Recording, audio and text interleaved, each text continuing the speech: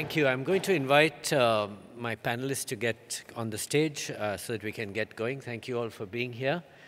And we look forward to an interesting discussion on the issue of urbanization. The key topics that we'll be addressing are issues that are not often addressed in these fora. You know, they concern concepts such as equity. How do you, when a society urbanizes, many more older people, many more poor people, how do you address their needs? This is something that we heard yesterday also as a prerogative or a priority for this, this government. And we hope to understand how technology, systems, and proper thinking can address that. And second, how do you address the issue of agency? Agency refers to the greater desire of people to have more control over their lives and less control by government. How do you look at technology and systems to address these issues? So with that preliminary background, let me move over here and I'm going to start our panel discussion in a moment. So my, uh, I'm first going to call on Manoj Kohli. Manoj is the executive chairman of SoftBank's Energy Group. SoftBank you must have already heard of. Uh, they're the guys banging at the back, is that right? Okay. Uh, so SoftBank Energy Group, you know, a big investor in, obviously in the field of energy. I've asked him to go first and give us a perspective over the next two to three minutes, looking at the transportation and energy components of, uh, of, an, uh, of a future urbanization system, and any other thoughts he, thoughts he may have. Manoj? Oh, thank you. Uh, I think we are going through a massive transformation of energy sector and transport sector across the world. Uh, in the last 20 years, I went through a mobile internet transformation uh, and I led it for building a company which has 400 million customers. And now I'll be, my company is involved in these two big transformations of energy and transportation. Uh, yesterday we saw data which said that the urban population will grow from 40, 45 percent to about 65 percent in the next decade or so, which is so true, which means urban areas will have much more population than rural areas. And the, and the population in rural areas actually is much more scattered and not concentrated and intense as urban areas are. So clearly, urban areas need a new solution. A new solution in terms of smooth energy and smooth transportation, but also clean. Very important to make it clean because if you see 80 to 90 percent of pollution across the world, whether you go to Beijing, or Delhi or other polluted country, uh, cities of the world, 80 to 90 percent comes from power plants, which are thermal, and vehicles, which are petrol or diesel. And these are the two sectors hence need massive transformation. Clean and affordable power, clean and affordable vehicles which are clean, which are non-polluting. So, uh, luckily India has launched a project for, for 100 smart cities.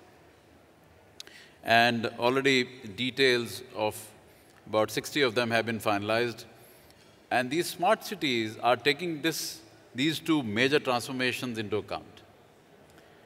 Uh, recently, I was in uh, Riyadh and, and uh, Saudi government has launched NEOM, which is the huge project of a new city from ground zero.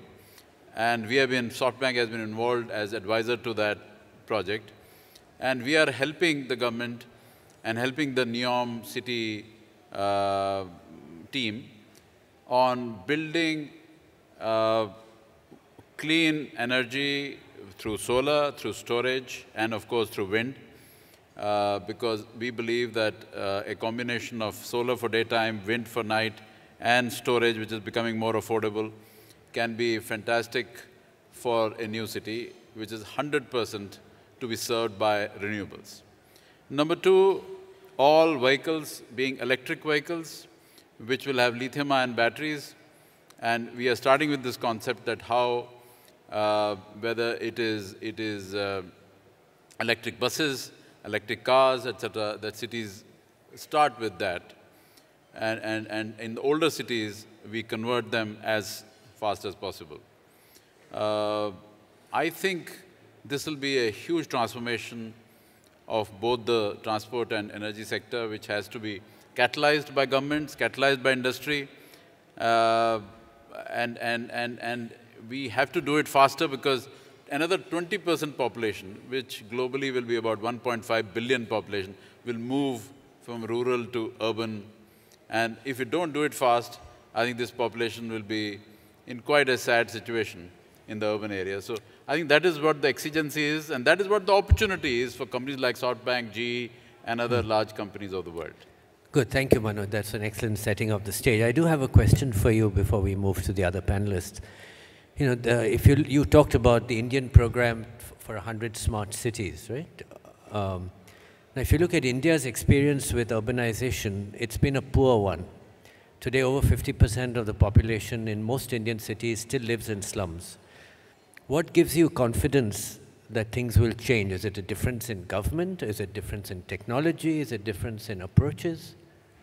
No, three reasons give me confidence. Number one, I'm optimistic.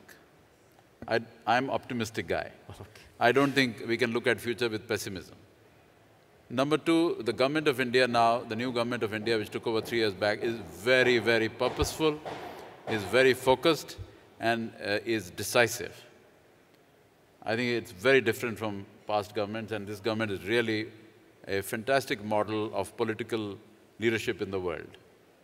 And that's why Indian leadership, new leadership is uh, one of the top two, three leaderships of the world today in terms of strong direction, strong execution focus, etc., etc.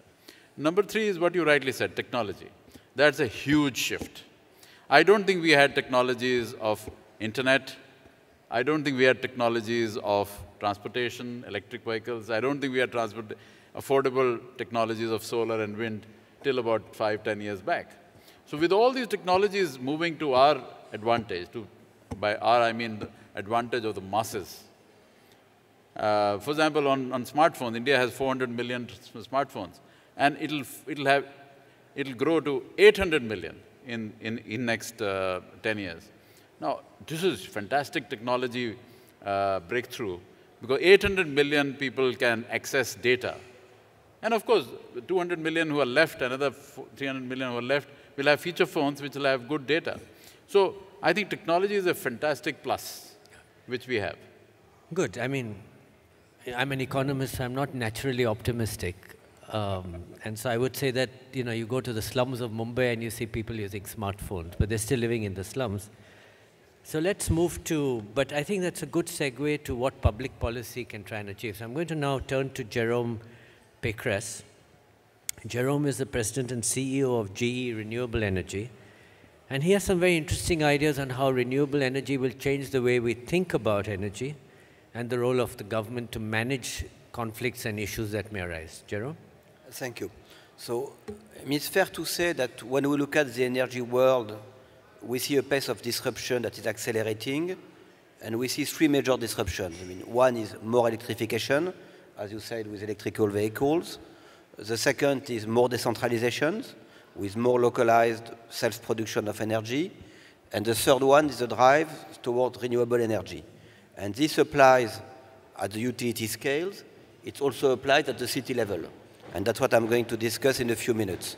And in particular, when you look at renewable, the trends towards more renewable energy, what we have seen over the years is we have seen, and accelerating again recently, is a drive with technology and scale, which allows renewable energies, both wind and solar, to be cost competitive with fossil fuels in most regions of the world. That's one. Second, when we see now how these various sources of renewable penetrate into the network and how they can complement each other and add storage. We see a potential when we talk with our utility customers to guarantee to them 100% base load renewable energy at a cost which will be better than the fossil fuels.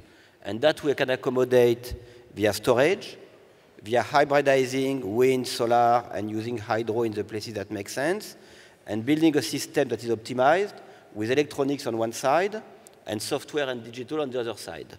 So this world of energy is moving again towards 100% competitive baseload renewable. It's true at utility scale. It's becoming true at the scale of large cities. I mean, when you see projects like the one you mentioned, like NEOM. NEOM wants to work with 100% renewable. In Europe, Barcelona recently announced that they are building a municipal utilities which is going over time to supply Barcelona electricity needs with 100% renewable.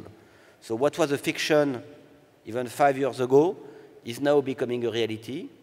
It's, it's, it's being managed via technology, it's being managed via regulation, and I mean, as much as we no longer need subsidies, we still need some regulations I mean, to get rid of fossil fuels and make sure that we have the instrument in place to optimize the whole system. And it's going to, at the, at the, at the city scale level, to be achieved via smart networks. I mean, we have a way that is going to bring the whole thing together, both the consumption side, at the large scale, at the decentralized level, I mean, combining what we can do with 100 2 megawatt fuel plants and what people can do by aggregating the local demand at the retail scale. So we are going to pull that demand together, optimize that demand with production, and make sure that the smart networks are going to improve in the way the, the system at the city level is going to work. So I think that's what we see coming again, a huge transformation at the utility scale, progressively filtering down to the city and the urban level, and probably at a scale which is going to be faster than what we expect, with some continued support by regulation, by this support moving to, I would say, bring to the, the old type of support what subsidies across the board. The new type of support at the regulatory level is going to be smooth facilitation of the change. Great. Uh, do my fellow panelists have any queries for Jerome? Uh, or we can move on. Those are very innovative ideas. Uh, thank you. So let me, let's move on now to, um, uh, I'm going to invite uh, Professor Katsuhiko Hirose. Hirose-san is, uh, you know, a strategic planning head for future technology for Toyota and comes with many, many years of experience, first as an, a physicist and an engineer and now a a planner for his company.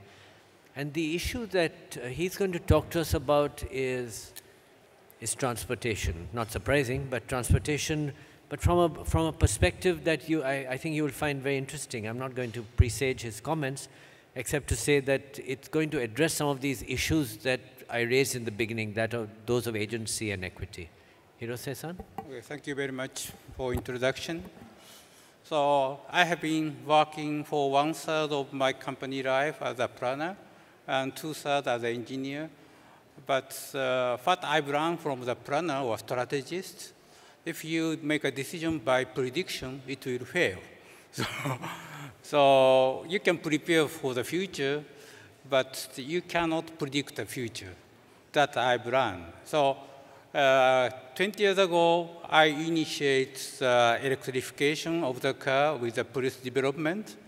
Then those time, if say the older car has a, will have a motor uh, to assist or to the, say, propel the car, everybody laughed. So, and after 10 years, still the people said, so, oh, there will be diesel or there's a lot of the other technologies. The only few years that the people say, oh, the future will be a battery electric vehicle. But this is something I have some objections because of the, the society will be uh, the multi-complex, or can I say the uh, future will be definitely the much more renewables and minimum, minimum use of fossil fuel. That that you need to optimize the whole the energy and transport. So transport cannot be separated from the energies. So the, of course, if you have a lot of renewables, you need energy storage. And the battery is, as you know, the very low energy density storage.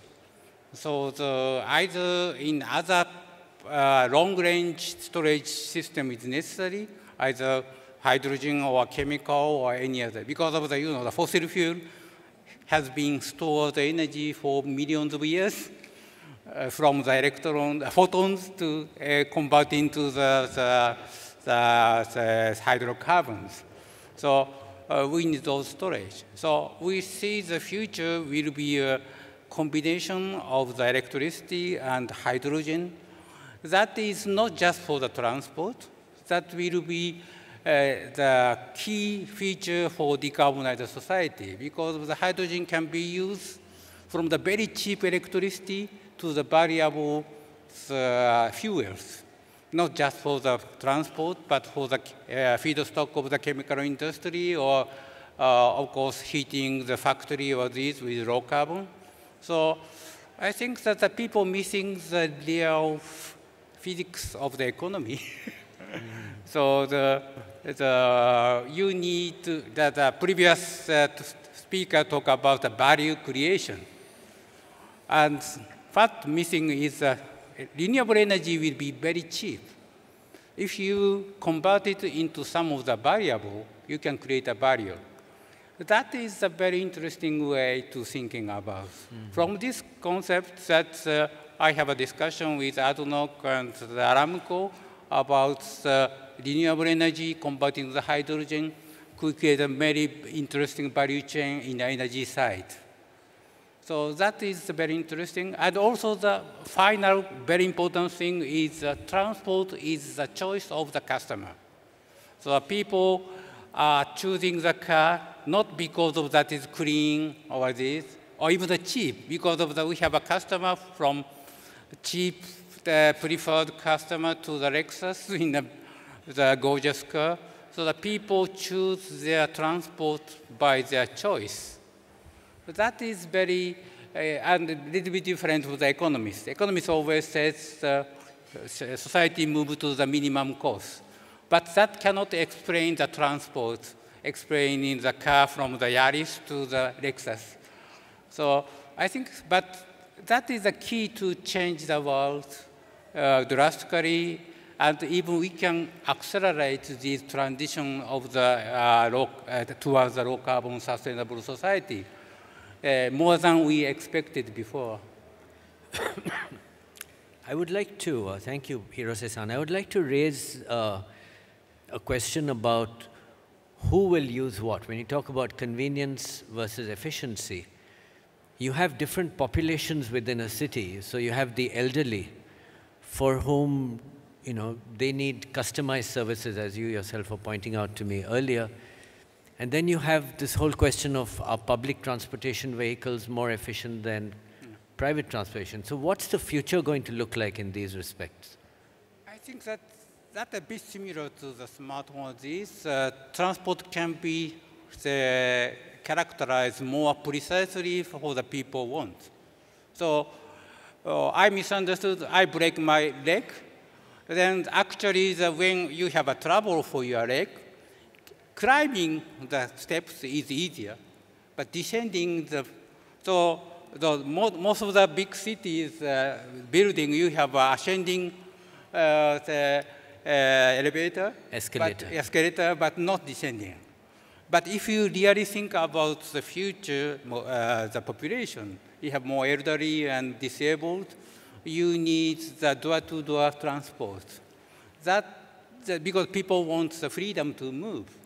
So I think the, I think the very good combination of the door-to-door uh, mobility and public transport and car sharing or uh, autonomous driving, that will be a future. That future will be more specifically, uh, characteristically, uh, precisely uh, designed transport. Mm. So let me take this question to Manoj. Yeah. I want to ask him from a data expert's point of view. You know, I, I had a conversation with the head of automobile uh, driverless technologies for Hyundai recently, and he said that in a connected system, he, they estimate that each car will be generating about 25 gigabytes of data per hour. Yeah. And you can imagine millions of cars trying to connect with each other as cars, buses, and so on. Let me ask Manoj, what's the challenge there? Is it doable? Or does that seem daunting? I mean, how many years are we talking to address this issue? Uh, I'll give him a chance to say. Yeah, uh, Manoj? Okay, uh, Professor Hirose-san? Yeah. yeah. Okay, that, that's another challenge. But at the same time, as I talked, that the good example is you can understand what's going on more precisely from, from those data. But navigation system, that uh, pointed out the shortest cut from your house to somewhere. But actually, everybody rushing to the same road, that creates another congestion. So, yes. So data collection is a very good way to understand the situation, but solution can be different. So you need more idea to solve this. So it raises the issue of whether the public policy goal should be managing traffic congestion or providing convenience. I, yeah. I think something that the automobile industry and, and all have to think about a lot in the years ahead. But with that, I think it raises an issue of efficiency that I'd like to turn to our, our next panelist, um, and uh, that is Jasim Husain Thabet. Uh, Jasim is the, the CEO of Tabreed, which is a district cooling focused company. And he has uh, offered to provide his thoughts on how this particular technology can address uh, the needs of large populations. Jasim? Yeah, so thank you. So uh, when it comes to uh, planning for, for your energy consumption, it's very important that you, uh, you understand your base, where, where we are now and what's our consumption patterns. And um, we're fortunate now, it, maybe it's January, the weather's out, uh, nice outside, uh, but the majority of the time in this part of the world, in the, in the UAE and the GCC, cooling is, is, is, required. And, uh, and it's a big component of the, of the, of the energy mix, uh, of the energy demand in, in this part of the world. Um, it is 70% of the peak power requirements during, during summer and it's uh, and cooling represents cooling spaces represents 50% uh, of uh, of the overall average uh, consumption. So it's a big, big part in, in this part of the world. Um, and, um, and there are different technologies out there. And when, when, when speaking about future, future cities, uh, we're always talking about district energy, and, and, one of the components of the district energy is district cooling. And, and the basic idea is there you have economies of, of scale, you have a centralized cooling plant uh, pumping water to, to, to a cluster, to, to, uh, to a future city. Uh, and the, the, biggest benefits of, uh, of that, it is uh, substantially uh, more efficient. It is 50% more efficient than, than the standard, standard cooling. And that's the number one thing we're looking at when it, when it comes to sustainability is first focus on your on your, on your efficiency and, and, and your on demand. Uh, uh, uh we have uh, 72 plants across, across the GCC, and, uh, and we have a, we've seen that we were able to, to save the governments or, or our customers over one and a half billion kilowatt hours every year. And, and that's, that's significant, uh, and that represents, uh, with that, the, the power plants are, are, consuming less natural gas, they're, they're producing less, less uh, NOx or, or, CO2 or so forth, and uh, we've, we've contributed uh, uh, uh reducing 700,000 tons of, of cooling. Uh, so it's, it's very important that, that, we, that, we, that we have and think about district cooling when it comes to planning the future needs in, in, this part of the world. And, and uh, and there are other benefits, not only the energy savings. Um, uh, it, it, opens up the space, it is, it is more reliable, uh, it is a bigger scale, you benefit from, from, from shifting the load. Not all, all buildings in, in a certain cluster or, or, in a certain development will need cooling at that time, so, so you don't overbuild and so forth. And we're seeing, we're seeing a big shift in, in, uh, in the UAE and the GCC and where we operate, that governments are, are, are coming and, and approaching uh, cooling providers and, and, and, and, uh, and asking if I do connect to a district cooling system or, uh, or district energy system, how much do I save? How much do I contribute to, to CO2 reductions? How much do I save dirham-wise on, on, my, on, my, on my monthly bill? Um, but never again, I mean, uh, th there are challenges, and, and, how can we improve in, in the energy planning is, uh, is we need to increase the penetration of, uh, of district cooling uh, and, and, and, needs to be, uh, needs to be man mandated. Again, with, with, with any infrastructure uh, projects, you always have, have the challenge of, of timing, uh, laying down the infrastructure, and then waiting for the demand for, for, the, for the city to come up. So that's a challenge that we have to overcome. And, uh, and sizing and scope and so forth. uh, and, uh, and educating, educating uh, um, uh, customers. And, and there's a big, we are seeing the big, the big shift, and especially this part of the world, there's, there's, there's been a, a shift from removing subsidies in terms of power and water, and, and that just really emphasized the need of efficient energy solutions. Thank you. Uh, Jerome, do you have any perspective from your view as a, you know, promoting renewable energy in terms of addressing any policy conflicts you see with district cooling?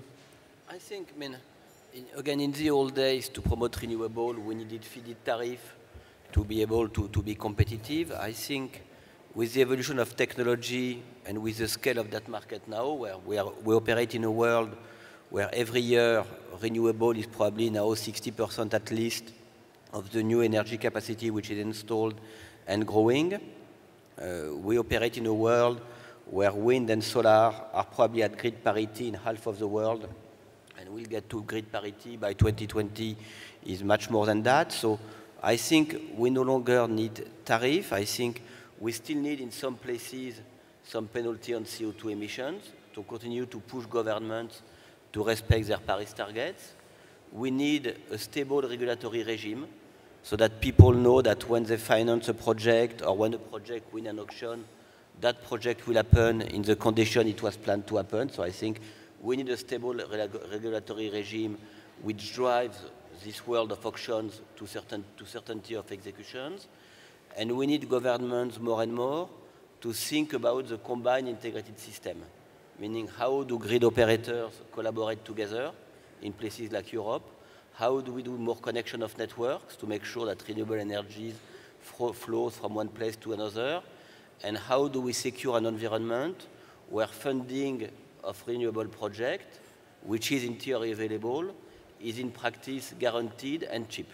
So I think moving from guaranteeing tariff to facilitating the long-term growth of renewable energy mm -hmm. via a stable regulatory and financing regime. That's how I see it. I don't know if you have a different perspective. And that's a great to, point, yeah. Trying to make sure we, we see more a world now where projects are awarded via auctions. So the cheapest project wins, which is an element driving down the cost of renewable energy. It's a good thing. At some point of time, the government needs to think about how do I regulate the auctions, to make sure that it's not necessarily only the cheapest project that win, but the one that are execution certainty and brings local content where local content is required. So still managing a bit this auction system to make sure it does not work to the extreme. Because sometimes the cheapest project is not going to be the one which gets executed. Great, that, that's a good response. So we have now uh, a few minutes for questions from the audience. And I'm going to welcome that. You know, I know that not many sessions have had time for this, but we do have about a few minutes left. So I'm going to encourage the audience to put up their hands and ask questions. Don't all raise your hands at once. There's one there. I see one at the back there. Yes, please, go ahead. Please, yes, yeah.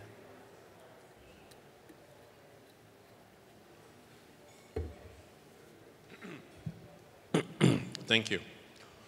I'm uh, the chairman of the American Renewable Energy Institute. And um, my question is, um, how close do you, you, gentlemen think that we are to finding a, a price point on carbon? Will that be something along the Paris model, the Paris Agreement, uh, a voluntary perhaps uh, price point, maybe led by China, I don't know.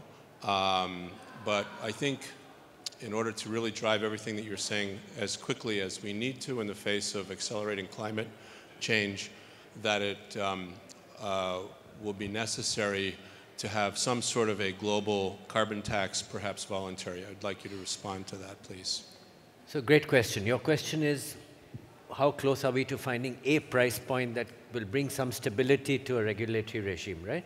That 196 nations can agree to, yes. I think Jerome, can you just, can you just repeat the question?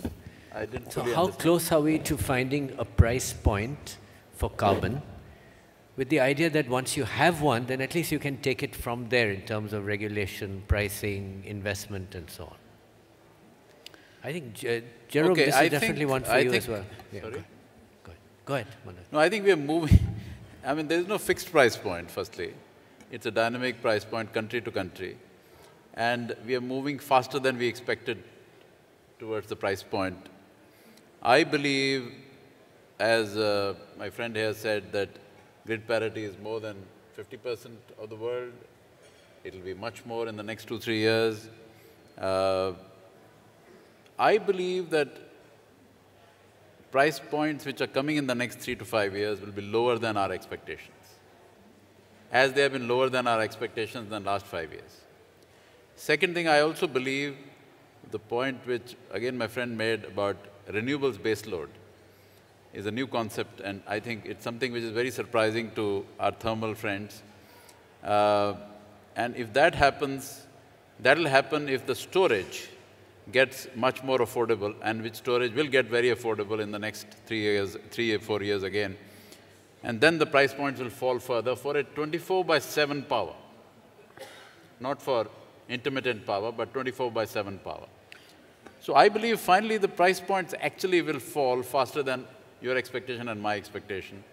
It's, it'll be dynamic, it'll be faster, it'll be actually serious responsibility of governments will be there to have a very clear plan of action on thermal plants, migration, etc., etc. That's very, very important.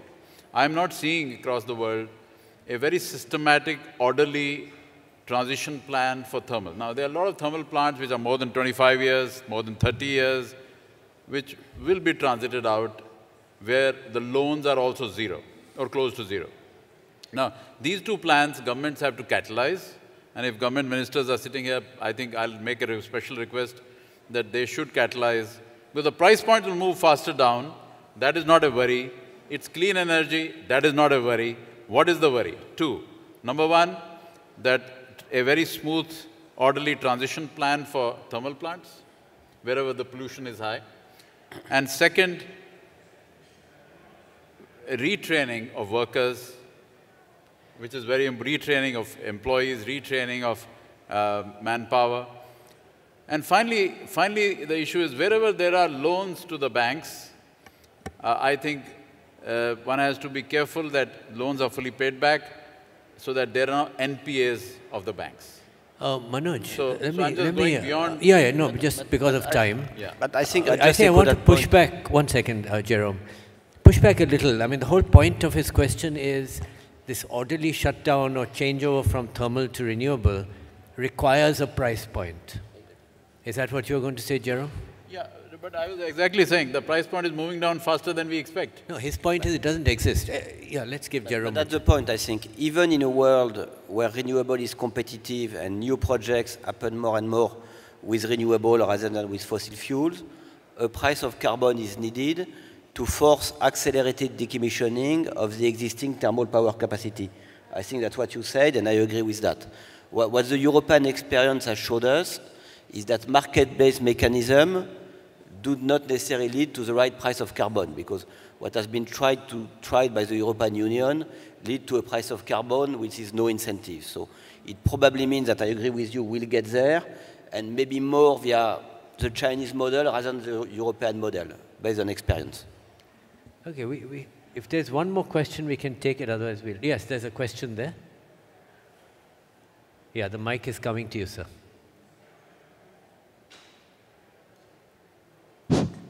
Yes, my name is Ala Bukhari. I'm from the A little louder, please. Yes, I am from the Electricity and Cogeneration Regulatory Authority from uh, Saudi Arabia. My uh, question regarding uh, cities of the future. We, we talk about, uh, for example, uh, 2050. Uh, how can we predict uh, the energy uh, requirement? Now, uh, what we heard that energy is needed, there are going to be congestions, uh, renewable energy, and so forth. But did we factor in the effect of technology on the cultural change? Now, we heard about uh, education has changed. Work itself will be changed. Now, in cities, there is lots of people go in the morning to work and then come back in the afternoon. In 2050, uh, do we expect the same behavior? Technology affect that. So uh, how is that factored in the energy requirement in, in the 2050, for example? I think it's very difficult to predict, but it's important to factor it in. Thank you. Thank you. Uh, as I understood your question, you're asking if we cannot predict people's behavior, how can we predict energy use, right? So how do these interact with each other? Yes, what I'm saying that the cultural change in terms of work and education, we have to factor this in in the prediction of future energy. For example, lots of people will not go to work in the morning. They will work at home. They'll use their mm -hmm. technology, Uh, education, and there may be no need for physical schools, so to speak, and so forth. So that's important to factor it you in. Factor it, yes. A very good question. Anyone like to address it from our panelists? I'm, I'm not sure I heard it yeah, perfectly. so. So I think the, the, he's making the point that in the future people's work patterns will change, life patterns will change. People may work from home. Point you raised about elderly, you know, their behaviors, their increasing population. So when this happens, and how do you use these uncertainties? How do you manage them? to come up with predictions about energy use and type? I think the, the uh, once we are responsible for provide the mobility or transport, so what I've learned is, you know that the future is very uncertain. So uh, that is not a single way to go. so, but there are some, some, some way because of the people will not spread energy anymore. So the efficiency will be much, much, much more important. Or uh, carbon dioxide, that is the trend never stop. Or there will be some, some way uh, the trend will not change drastically. Of course, like as I said, uh, when I was in uh, the Fast Planner in 2003 or 4, uh, I said the oil price can be 40, above $40 per barrel. The hybrid or these can be flourish. But in those time, only $12 per barrel. So my boss said, you're joking. so, so, and only a few years later, the oil was uh, above $100 per barrel. So we cannot predict the future, but as a planner or a strategist, you can follow some of the unchanging trends. Then uh, if you reach certain point, then you, you have to be flexible. So if you fix a trend and you spend all the, uh, effort to do this, that is uh, the trouble.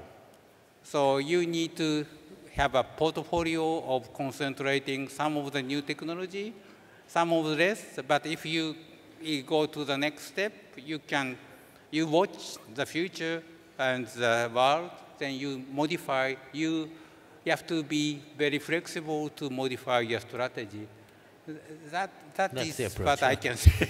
Okay, I think we'll have to wrap up here because of time constraints. But thank you, panelists, for a lovely conversation. And may I ask you to give them a round of applause?